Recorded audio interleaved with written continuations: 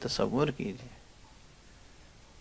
کس قدر خوفناک، خطرناک، ہولناک، مہلک، مگر اس ماحول میں بھی حضرت چلے گئے اور امانتوں کا خیال تھا۔ امیر المومنین علیہ صلاۃ والسلام کے سپرد کر کے گئے امانتیں۔ اور یہ حق ہے، یہ سچ ہے کہ جس طرح آپ دنیا مکے سے مدینے تشریف لے گئے۔ کفار قریش کی امانتوں کو حضرت کے سپرد کر کے۔ اسی طرح آپ اس دنیا سے آخرت کی طرف جب جا رہے تھے تو آپ نے اللہ کی امانتیں علی کے سپرد کی۔ کوئی اور نہیں ہے جو امانت دار ہو۔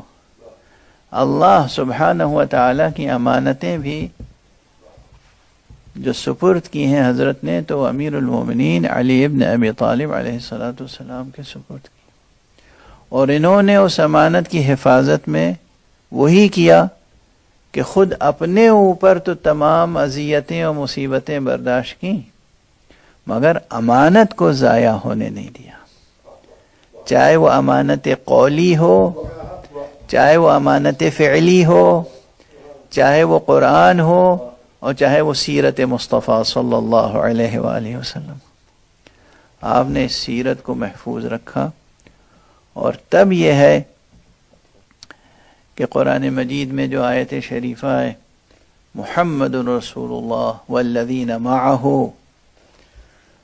اشداء علی الكفار رحماء بینہم تراہم رکعا سجدا یبتغون فضلا من اللہ ورضوانا سیماہم فی وجوہہم من اثر السجود۔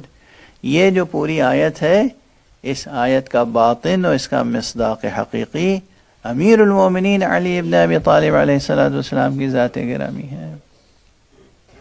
یہ شبیں جو گزر رہی ہیں اور گزریں گی، یہ خصوصیت سے حضرت امیر المومنین علی ابن ابی طالب علیہ السلام کی یاد سے متعلق ہیں۔ کوئی مسلم نہیں ہے جو ان تاریخوں میں امیر المومنین کو یاد نہ کرے۔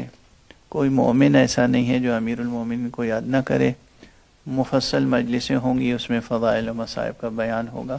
لیکن اس وقت اس حدیث کے ضمن میں بھی آپ کا تذکرہ آ گیا، یہ ہماری سعادت ہے۔ ہمارا سلام ہو رسول مقبول پر، ہمارا سلام ہو ان کے اہل بیت اطہار پر، ہمارا سلام ہو ان کے وسیع برحق أمير المؤمنين علي بن أبي طالب عليه الصلاة